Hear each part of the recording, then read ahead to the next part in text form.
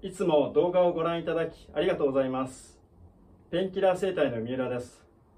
今回は手の震え新鮮動悸息切れなどに効果のある生態法をご紹介いたします。使うツボは老朽です。手の血陰心包系に属します。胸から上肢前面を下り中指先端に流れるラインです。心包系の変動を老朽への刺激で正常化させます。ツボに対する手による刺激で鍼灸刺激に近い効果が出せるということは DVD で詳しくご説明しています。それでは老朽の部位を確認いたします。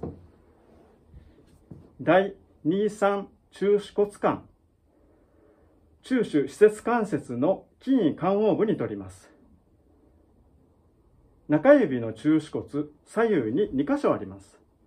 反応が出やすい自死側自死屈筋腱状をよく使用します。心包系に変動のある方はコリッと圧を伴った高血があります。垂直圧で垂直圧で響かせゆっくり指を10回動かしてもらいます。パーキンソンによる指や手の震えなどはその場で改善するケースも少なくありません。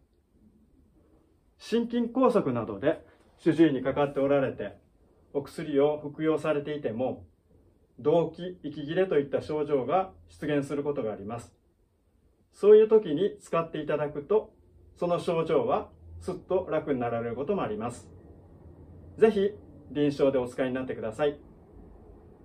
ペンキラー生態のミイラでした。